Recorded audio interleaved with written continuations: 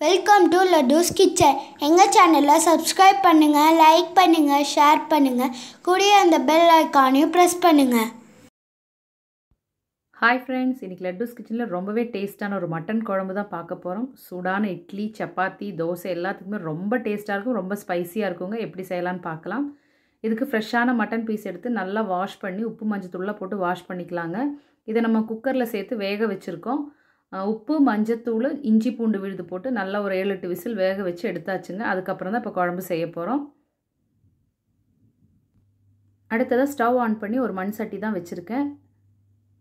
பாத்திரம் சூடானோடனே ஒரு ரெண்டு டேபிள் ஸ்பூன் எண்ணெய் ஊற்றிக்கலாங்க எண்ணெய் சூடானோடனே இதில் ஒரு அரை டீஸ்பூன் சோம்பு அரை டீஸ்பூன் சீரகம் ரெண்டு துண்டு பட்டை அஞ்சு லவங்கம் சின்ன பீஸ் ஜாதிபத்திரி ஒரு சின்ன பீஸ் வந்து மராட்டி மொக்கு கடல் பாசி நான் மூணு பச்சை மிளகா நாலு வரமிளகா சேர்த்துருக்குறேன். இதை அந்த எண்ணெயில் போட்டு நல்லா பொரிச்சுக்கலாங்க.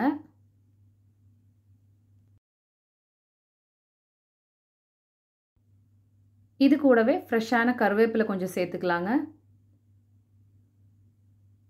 அடுத்ததாக ஒரு மூணு பெரிய வெங்காயம் சின்ன சின்ன பீசஸாக கட் பண்ணி சேர்த்துருக்கோங்க. கொஞ்சம் பெரிய சைஸ் வெங்காயம் தான் எடுத்துருக்கிறேன். அதை நல்லா குட்டி குட்டியாக சாப் பண்ணிவிட்டு அதை இதில் சேர்த்து நல்லா வதக்கிக்கலாங்க.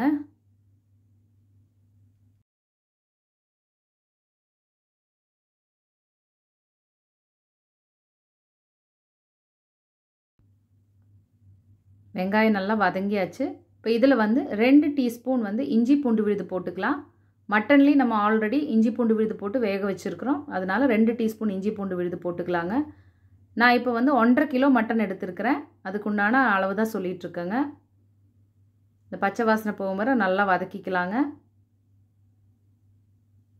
இப்போ எல்லாமே நல்லா வதங்கியாச்சு. இப்போ அடுத்ததாக வந்து ரெண்டு சின்ன சைஸ் தக்காளி குட்டி குட்டியாக கட் பண்ணி சேர்த்துருக்கேங்க. அதையும் சேர்த்து நல்லா வதக்கிக்கோங்க.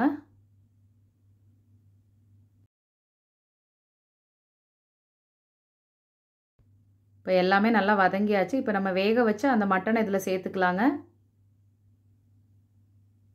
சேர்த்து நல்லா ஒன்று கலந்து விட்டுக்கோங்க.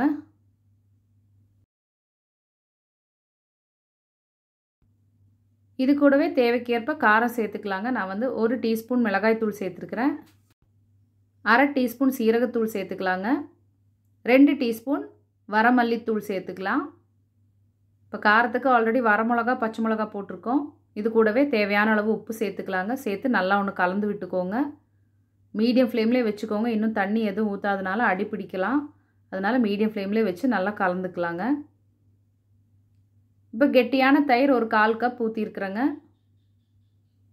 அதையும் சேர்த்து நல்லா கலந்து விட்டுக்கோங்க. தயிர் ஊற்றி செய்கிறப்போ டேஸ்ட்டே ரொம்ப நல்லா இருக்குங்க.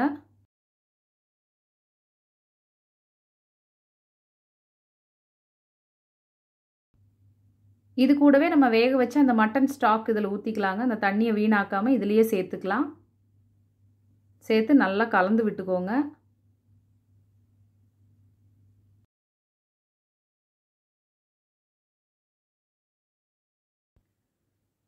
இப்போ ஆல்ரெடி மட்டன் நம்ம வேக வச்சுருக்கோங்க. இப்போ இதெல்லாம் சேர்த்து நல்லா ஒரு அஞ்சு நிமிஷத்துலேருந்து ஒரு ஏழு நிமிஷம் பக்கமே நல்லா கொதிக்கட்டுங்க. மீடியம் ஃப்ளேம்லேயே வச்சுக்கோங்க. ரொம்பவே டேஸ்ட்டாக இருக்கும். இது ரொம்ப ஈஸியாக செஞ்சிடலாம். டேஸ்ட்டும் பார்த்திங்கன்னா அவ்வளோ நல்லாயிருக்கும் இட்லிக்கு தோசைக்கு எல்லாத்துக்குமே ரொம்ப சூப்பராக இருக்கும். ஸோ கண்டிப்பாக இந்த மாதிரி ட்ரை பண்ணி பாருங்கள் ரொம்பவே டேஸ்ட்டான ஒரு மட்டன் குழம்பு தாங்க இது. இந்த ரெசிபி உங்களுக்கு பிடிச்சிருக்குன்னு நினைக்கிறேன். பிடிச்சிருந்ததுன்னா லைக் பண்ணுங்கள் ஃப்ரெண்ட்ஸ் அண்ட் ஃபேமிலி கூட ஷேர் பண்ணுங்கள் நம்ம சேனல் இன்னும் சப்ஸ்கிரைப் பண்ணாமல் இருந்தீங்கன்னா மறக்காமல் சப்ஸ்கிரைப் பண்ணி பெல் ஐக்கானி ஆளுங்கிற ஆப்ஷனை கிளிக் பண்ணுங்கள் உங்கள் வேல்யூபிளான கமெண்ட்ஸை கண்டிப்பாக போஸ்ட் பண்ணுங்கள் தேங்க்யூ ஃபார் வாட்சிங் மை வீடியோ